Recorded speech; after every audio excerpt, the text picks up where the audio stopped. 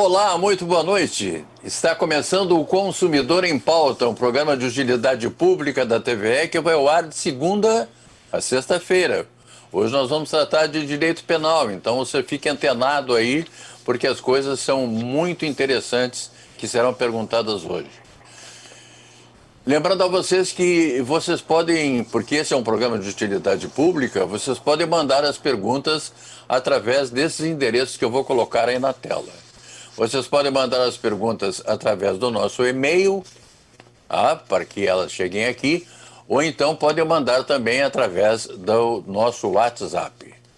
Eu, quando eu digo cheguem aqui, é porque eu estou acostumado a estar lá no estúdio da TVE, mas eu estou na minha casa.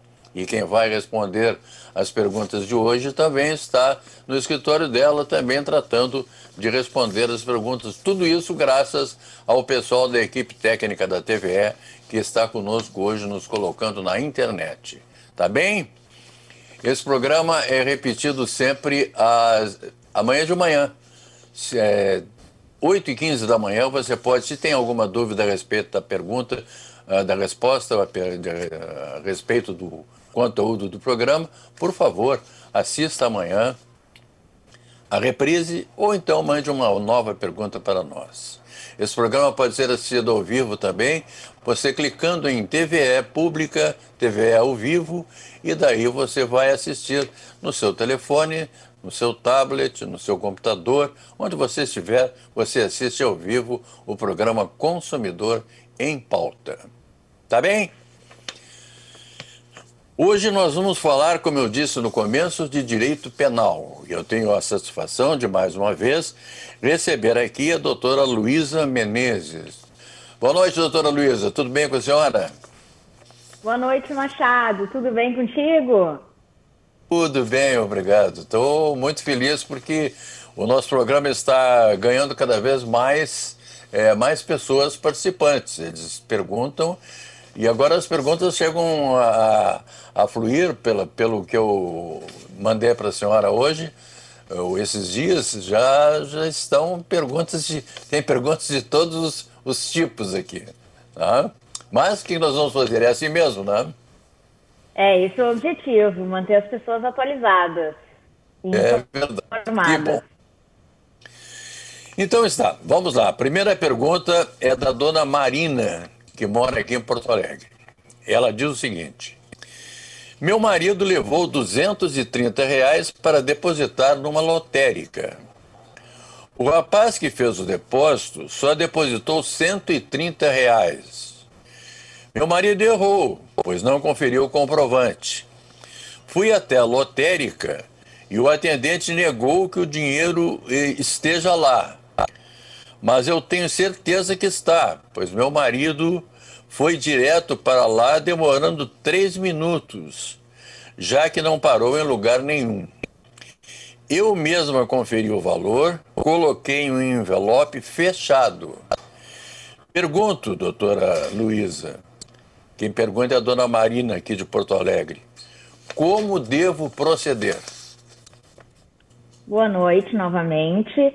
Sempre o momento ideal é quando for feito um pagamento ou um depósito, sempre conferir se é esse realmente o valor que foi depositado. Nesse caso, há uma diferença de 100 reais. Uh, tem que dar uma conversada também com o gerente da lotérica, pedir para rever as gravações, para rever a própria transação e ver se de fato foi entregue os 230 reais ou se só foi entregue 130. Caso uh, não, não seja, não consiga entrar nesse diálogo, pode sim fazer uma ocorrência, levar sua esposa como testemunha, informar o nome completo dela, informar o seu nome completo, levar o comprovante, dizer qual lotérica foi feita, qual o funcionário que depositou e o gerente da lotérica. Temos aqui a pergunta de uma pessoa anônima que mora na cidade de São Leopoldo, doutora Luísa. Ela diz o seguinte: Tenho 18 anos e moro com minha mãe e com meu tio. Ele não está deixando eu sair de casa em hipótese alguma. fala que tem uma ordem judicial dizendo que é para eu ficar só em casa.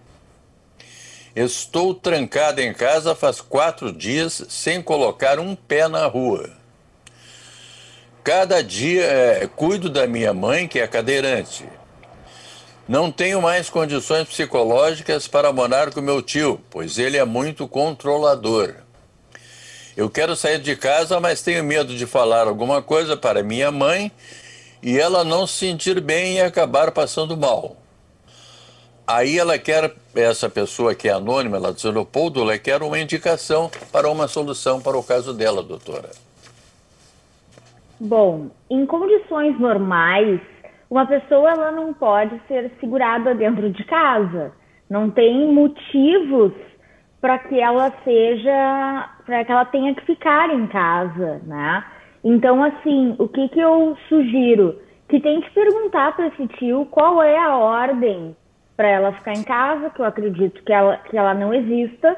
Assim, ligar para a polícia no 190 da Brigada Militar e informar que ela está sendo vítima de um cárcere privado. Uh, nisso, entrou em contato com a polícia, a polícia ela, ela vai se dirigir até o endereço dela e ela vai ser retirada de casa. Perfeito. Tem a pergunta aqui da dona Joyce, que mora em Canoas.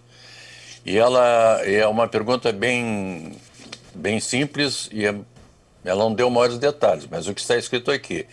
Meu marido está preso na delegacia de Canoas por roubo. Ainda não foi para o presídio central. Tem alguma coisa que eu ainda possa fazer? Pergunta a dona Joyce lá de Canoas, doutora Luísa. Sim, esse é o momento ideal para ou contratar um advogado ou chamar a defensoria pública caso não tenha condições financeiras. O que, que precisa saber? Qual o real motivo da prisão? Quando uma pessoa é presa, ela pode ter sido presa em flagrante, roubando, ou já tinha algum mandado preventivo para ele, ou até mesmo ele ele estava foragido de um processo de execução criminal. Talvez ele já tivesse sido condenado e ele estava foragido. Na delegacia, eles informam normalmente o motivo da prisão e ele e pode pedir também uma cópia desse motivo. Agora, claro, eu estou falando com base em poucas informações, né? Então tem que analisar de caso a caso. Mas eu indico sempre procurar recurso, procurar um advogado ou a defensoria pública, porque nesse momento, pelo, pelas informações que foram passadas, ele está esperando vaga em algum presídio, por isso que ele ainda está recolhido na delegacia. A próxima pergunta é da dona Vera, que mora aqui em Belém Novo, aqui em Porto Alegre mesmo. Também é uma pergunta curta e objetiva. Quero retirar uma queixa que fiz contra meu companheiro pois não quero que ele seja preso. E ela quer saber, a dona Vera, que mora no bairro Belém Novo, o que, que ela deve fazer, doutora Luísa? É, de acordo com a Lei Maria da Penha, a renúncia desse direito, o fato de tirar a queixa, ela pode ser feita antes do recebimento dessa denúncia perante o juiz, sendo designada uma audiência para isso ela vai numa, numa audiência e ela diz para o juiz que ela não deseja mais representar criminalmente contra o seu companheiro. E também, nós, nós advogados, também orientamos uh, as vítimas que realmente não querem representar contra os seus maridos a fazerem uma declaração de próprio punho no tabelionato, demonstrando que não, não possuem mais interesse pelos motivos que elas que tem ou que não foi agredida ou que não quer mais levar o processo adiante, autenticar e juntar nesse processo ou ir até a delegacia levando essa decisão de próprio punho para juntar no próprio inquérito policial. O delegado de polícia vai mostrar o inquérito e pode juntar esse, essa declaração dela. Isso aí, doutora Luísa, deixa eu lhe fazer uma pergunta agora particular minha, Isso aí demora muito tempo, a pessoa age com rapidez e celeridade e as coisas acontecem rapidamente ou demoram muito? Depende muito. Se, se é um caso de uma agressão muito grave, normalmente esse processo ele vai adiante e é dado celeridade ao processo. Agora, se ele é um processo um pouco mais, ah, são só ofensas, costuma demorar um pouquinho mais. Mas hoje em dia, com a Lei Maria da Penha e as delegacias especializadas, as medidas protetivas, as mulheres elas estão muito bem amparadas. Então leva em torno de uma semana, 15 dias até sair a primeira decisão do juiz e depois para designar uma audiência, mais ou menos em torno de três a quatro meses. Bom, deixa eu, deixa eu seguir aqui então na minha pergunta. Enquanto isso, a pessoa fica presa, não fica presa? Como é que eh, responde liberdade? Como é que fica isso aí? Tem casos que ela pode ficar presa e tem casos que ela vai ficar em liberdade. Eu não tenho como aqui generalizar, né? Porque a gente não sabe se às vezes não foi uma tentativa de homicídio, no caso, uma tentativa de feminicídio, ou se for pequenos uh, arranhões, escoriações, eu não tenho como mensurar aqui. E tem casos também que a polícia foi chamada naquele caso e a pessoa foi presa em flagrante. Então vai depender da ordem do juiz se vai mantê-la presa ou não. Ah, bom. Então tá. Então a senhora me desculpe por ter feito tantas perguntas assim, mas é que uma coisa puxou a outra e eu fui, fui falando assim para tentar esclarecer da melhor maneira possível do nosso telespectador. Claro, próxima... mas eu estou aqui à disposição. Ah, perfeito. Eu sei disso e, e por isso tomei a liberdade de fazer as perguntas para a senhora. A próxima pergunta, doutora Luísa, é da dona Joelma, que mora na cidade de Tramandaí. Ela diz o seguinte: me divorciei e voltei a usar meu nome de solteira. Gostaria de saber se posso ser envolvida em processos que foram iniciados contra meu marido quando éramos casados. Ele fez várias trapaças e sempre envolveu o meu nome. Acabei sendo processada junto. E daí, doutora? A senhora precisa ir no fórum e pesquisar o seu nome, tanto de casada quanto nome de solteira, e saber o que está acontecendo, quantos processos estão em andamento. Após isso, deve realmente contratar um advogado ou ir à defensoria pública para tomar pé da situação. Nessa, aproveitando o gancho, só para mostrar que se tem dívidas, alguma coisa assim, tudo depende também do regime de casamento, seja união comunhão universal, a parcial ou a separação de bens, tá? Mas converse com seu advogado e já leve em mãos a pesquisa feita no fórum. Doutora Luiz, eu vou fazer o seguinte: nós vamos fazer um pequeno intervalo. E eu, antes do programa, lhe disse que a senhora não, não precisa mais tomar água nesse copo, porque eu vou lhe dar uma caneca do consumidor em pauta aqui. Mas o nosso intervalo é bem curtinho, é só o tempinho de tomar um gole d'água e a gente já volta. A gente vai e volta. O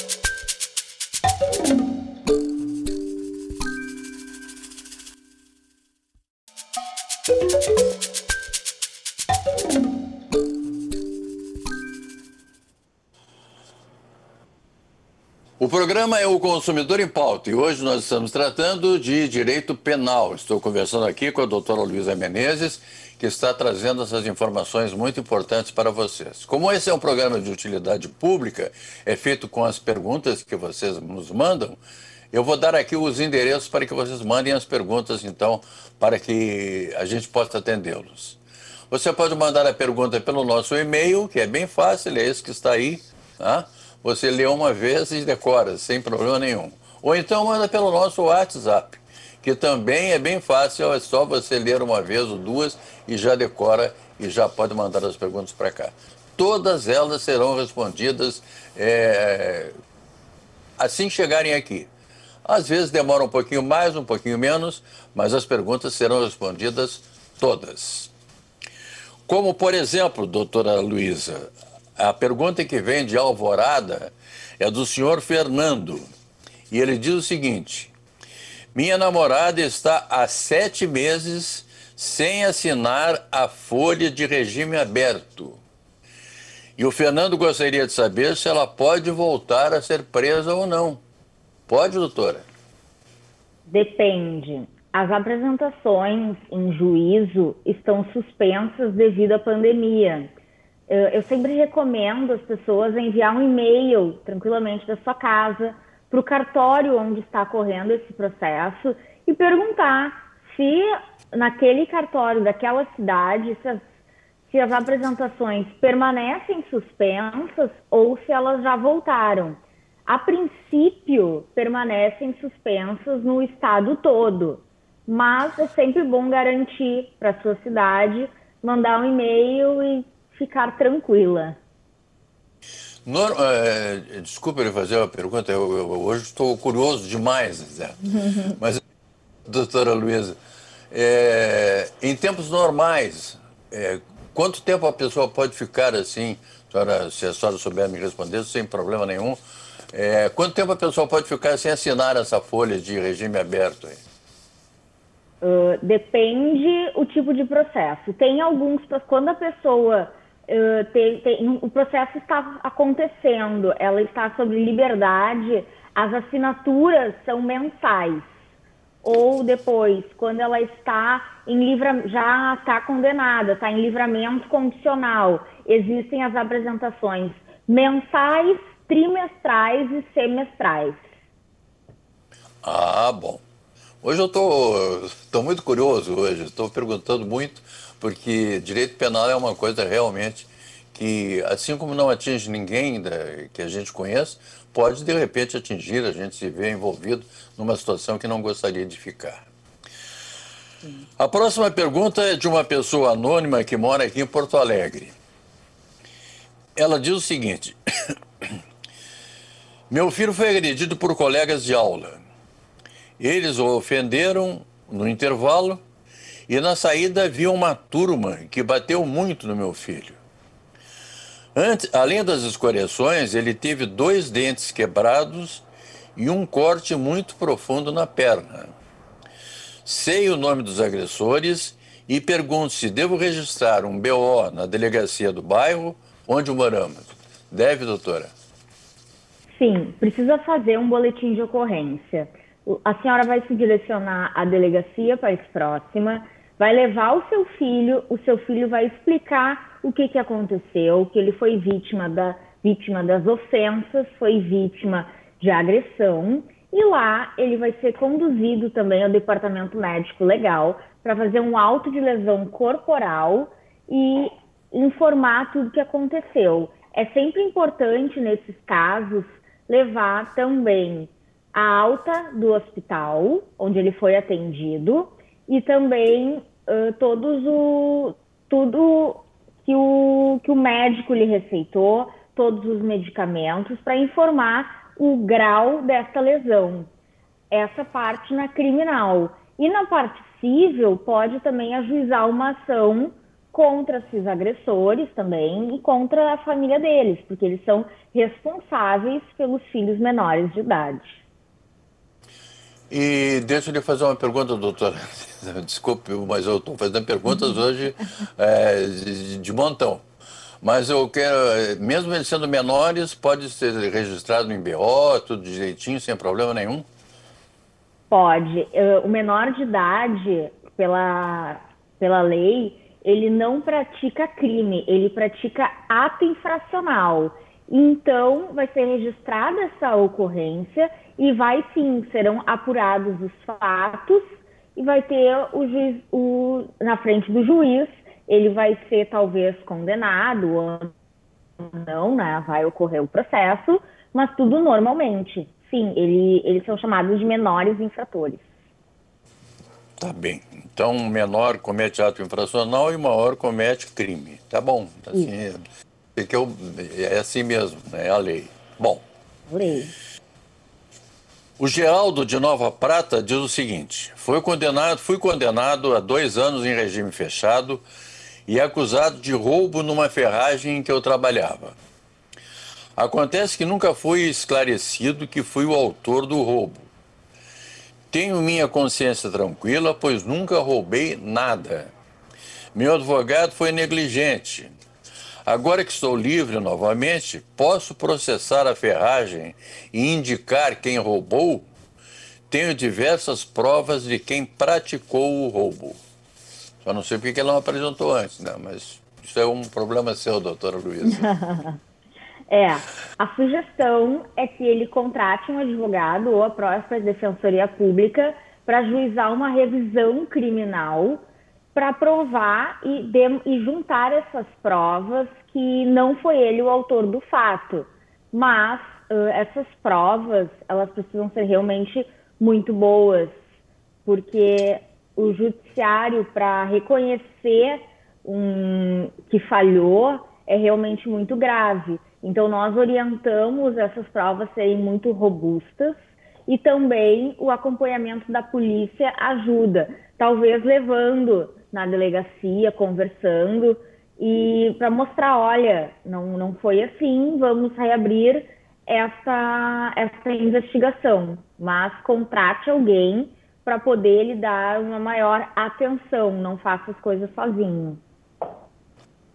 Pois é, se ele, eu acho que se ele soubesse disso, né, doutor, ele teria pelo menos é, entregue as pessoas que que roubaram, ou quem roubou, e não ele, porque ele cumpriu a pena toda, né? No lugar de um outro. Bom. É, nós não temos acesso a, a essas informações para poder explicar melhor, né? Mas essa é a orientação, ele precisa de uma ajuda. Tá bem. A dona Isolda, ela mora na cidade de Cachoeirinha. Ela diz o seguinte: tenho um processo por dirigir embriagada. Agora fui olhar na internet e consta um despacho informando que o processo foi encaminhado ao Ministério Público. E a dona Isolda, que mora lá na cidade de Cachoeirinha, quer saber se tem alguma coisa que ela possa fazer, doutora Luísa. O Ministério Público, ele é o titular da ação penal. É ele quem faz os pedidos assim como a defesa, mas quem decide é o juiz. Agora é o momento de aguardar e conversar sobre o caso com o advogado criminalista ou a defensoria pública para que seja explicado os rumos que possam ter, possam ter esse processo.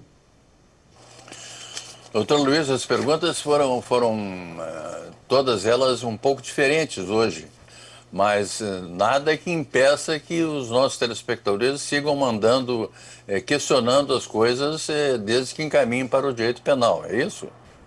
Isso, devem continuar mandando. Tá bom, então. Doutora Luísa Menezes, é, chegamos ao final de mais um Consumidor em Pauta, que hoje tratou de direito penal. Tenho que agradecer muito a senhora e as suas respostas pediu desculpas porque foi. Eu sempre dou os meus pitacos aqui quando, quando começam a aparecer as perguntas, né? Mas eu sou assim mesmo, isso é coisa de jornalista. Muito obrigado, doutora Luísa. Uma boa semana para todos nós. Lembrando a vocês que amanhã, terça-feira, eu estarei de volta aqui para mais um Consumidor em Pauta às 18 horas. A todos vocês, muito obrigado, muito boa noite e até lá.